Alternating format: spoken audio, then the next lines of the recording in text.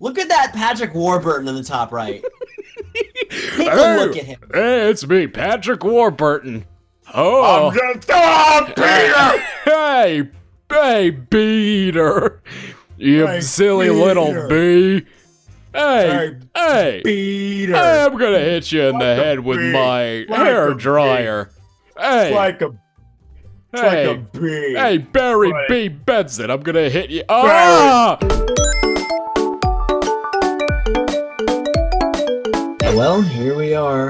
Well, here we are.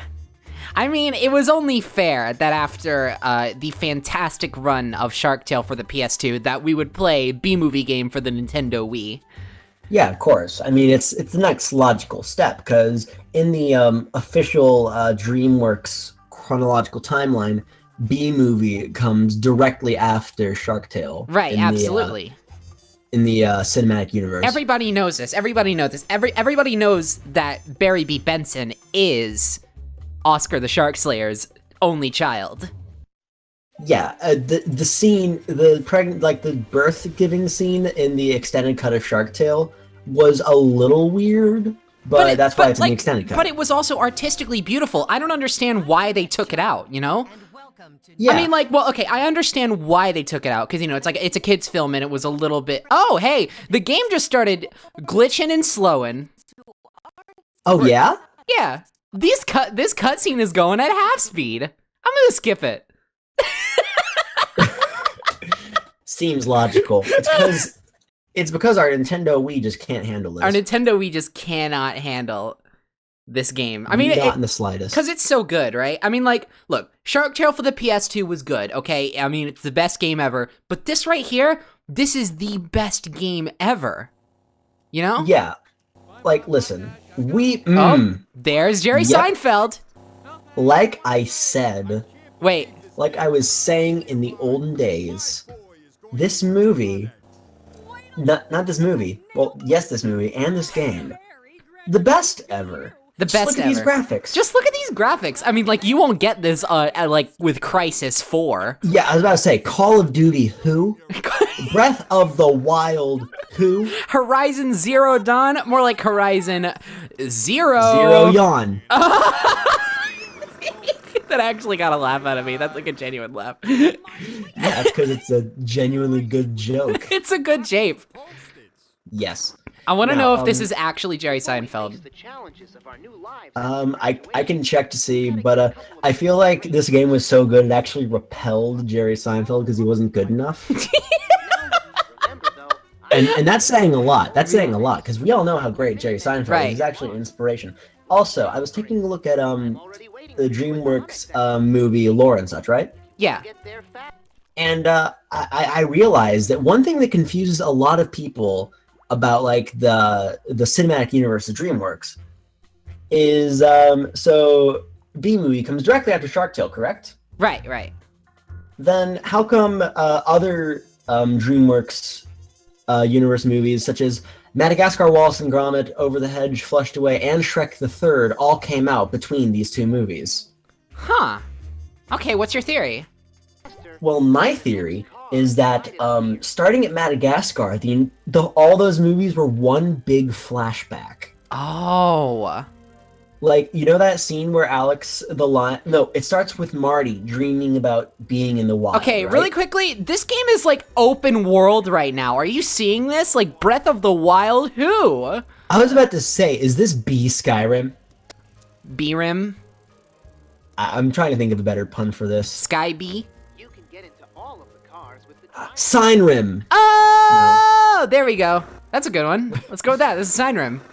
Sign rim. Sign Rim for the Nintendo Wii. Fus Rodon. What's the deal with the Dark Brotherhood? anyway, you were saying about Craven flashback. breaks in wearing a Dragonborn helmet. Jerry, you're not gonna believe this. Okay, so what were you saying about the flashback? The uh, the, the Um, So at the very beginning of Madagascar, um, uh, Marty is having a dream of being in the wild. Right. I think that um, the entire movie of Madagascar um, is just a flat is like that whole imagination spot right.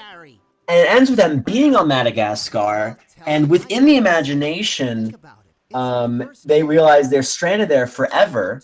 So they further have an imagination where they imagine um, all of Wallace and Gromit over the hedge flushed away, and Shrek the Third, and then B movie is just like a snap back to reality. Oh, there goes gravity. Yeah, because bees can fly. Because according to all known laws of aviation, that, that's what, that's why they explained at the beginning of the movie. Oh, okay, okay. It's it's Yeah, it's like a it's like a foreshadowing thing where they're revealing, oh, snap back to reality. Oh, there goes gravity. These bees can fly no matter what you say. Yeah, exactly. I'm glad that Um, we've and also- explained this universe. What was that? I said I, I said I'm glad that we've explained this universe. I, I know that our viewers can get a little bit confused about these timelines and stuff. Like, Yeah, I mean, like yeah, Marvel Cinematic DreamWorks- Universe has nothing on this in terms of complexity, but like, Yeah, DreamWorks has always had a complex cinematic universe. right? They've always had just like a like a Um, like a strangely intense lore for like a, for like a kids movie studio, right? And they've kept it, and they've kept it under wraps. But this extended universe has been all, like every, all 34 films have been incredibly important for uh, the DreamWorks universe, given two exceptions. Okay. Those two exceptions being How to Train Your Dragon and How to Train Your Dragon 2, because those are just filler movies. Yeah, they're just filler. And no one likes them. No one likes those movies. They're just stupid filler. Yeah, everyone hates How to Train Your Dragon and Man, How to Train Your you know Dragon 2. They're You bad know what? movies. Toothless, more like ruthless. For destroying. Are you playing Peggle? I'm about to play Peggle, yes. Well, not Peggle, but um, Pachinko. yes. Well, sort of a weird. I mean, Oh, I I don't control the dropping. They drop it, I catch it. It's it's a Pikachu. Okay. All right, I see. I, I don't think you're supposed to catch the brown ones. Oh, No, you are supposed to catch the brown ones because the brown one is the one that's zero out of five. Wait, no, and you also have to catch the gold one because those are four out of ten. I don't This is some deep. These are deep game mechanics. I don't get this. What? You The? have to catch all of them, include the brown Oh, oh no, my controller the brown ones. vibrated. I'm not supposed to get them. That's the limit. Five is just the limit. oh If no. you get if you get five, then your B explodes. if you get five, then you get taken out by the Dark buzzer hood. Dark buzzer. Sucks. Yay. Oh, geez. I don't even know where to be. Oh, sorry. Oh, bees. I don't even know where to begin with this. well, why not start from the beginning? How'd you know it was me? don't you have a caller ID? No, but you have a caller IB. Ryan, listen. If you're gonna if you're gonna sit here if, if you're gonna sit here and spew this uncreative B pun shit, I'm gonna need you to leave my channel. I'm done listening. these these cutscenes are bad. Also, also, also, I, t- I totally just remembered this from the from the one time that I test test ran this game out. Yeah. Hold on. Um. are There you about it to get in the B car. There it is. Wait, Grand this Theft. isn't Seinfeld. This is Grand Theft Auto. Grand Theft Auto. This game is the answer to all of the problems with open world games in the modern era. Yeah. People, also, people are some- looking onto research. Skyrim and people are saying that Breath of the Wild is like a landmark in open world design and that video games coming in the next like century are going to be looking back at those games and being like, "Wow, they really set the precedent for good design." Why not look back at B movie for the Nintendo Wii, the one game that got it completely right? Exactly. Also, I did some research, and don't you worry your pretty little face, Judy. Okay. Because Jerry Seinfeld is voicing Barry in this Oh, game. Oh, thank God. Also, the ugly, think my face is pretty. That's nice. That was off the script. hey, did you? Hey, also, I'm learning a lot about Jerry Seinfeld today. You want to know the first TV show that he uh, acted in? What I think was- you'll find it interesting. What was it? It was called Benson. Are you fucking kidding me? There's no way. It it's Benson in 1980. He played a character named Frankie. B movie is just one big reference joke. This entire movie is just one big throwback Thursday. I mean, I mean, he, the whole thing came from Jerry Seinfeld walking up to DreamWorks and saying, "Hey guys, you guys can animate, right? Yeah. so that means you have unlimited like possibilities. You can do anything you want, right? Yeah. All right. So get this, a B movie, but with bees. So it's so so it's a B movie." I'm about to play cr- Bee Crazy Taxi. Hey, we see that you have How to Train Your Dragon 3 in the in the in the preparation. Cut that. We're making this movie about bees. Hey, cut that I'm out. Dog and writer. Cut that movie out. Would you like me to go over that? No, I don't want you to repeat the instructions. I just. Oh my god, what is ha- Oh, I did a donut! Woo! Woo! Wait, what do you think of a bee pun for donut? D- uh, I got Huh? nothing. yeah, I don't think there is one. I was gonna say if I have to like press it, like like precision press a button to pick this guy up, I'm gonna be so mad at this game. Let's go! This is like the most boring crazy, Crazy taxi. Taxi. Yeah, this is the most boring crazy taxi ripoff I've ever seen in my life. Crazy taxi. Oh my god, I'm I can just Whoa. I can just kill people. I can Yeah, just I, I- can just murder. Barry B. I'm- I'm Benson not- is I'm going seeing rogue. very- I'm not seeing very good frames per second on my end, but what it looks like for me is it looks like you run into them and they just kind of phase through the camera, like like in kind of a semi T pose. Well, I, I I hit them and they just kind of like jump up a little bit. They're just like, wow. All right, yeah, get that's- out, That's the sound they make.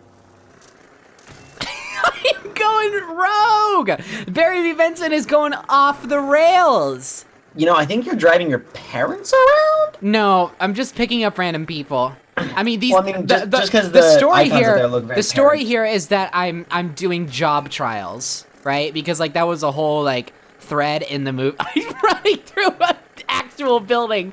Um, that, that was like a whole thread in the in the hit film where Barry was like, I need a job, because like all the bees needed jobs, right?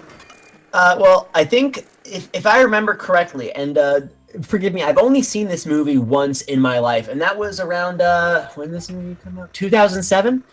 Um, I believe what ended up happening is uh, the bees took him on a tour. He was like, "Hey, you can get a job doing honey things, or doing honey things, Or doing honey doing thing. honey." And then he was like, "No." I don't And want to then do honey things.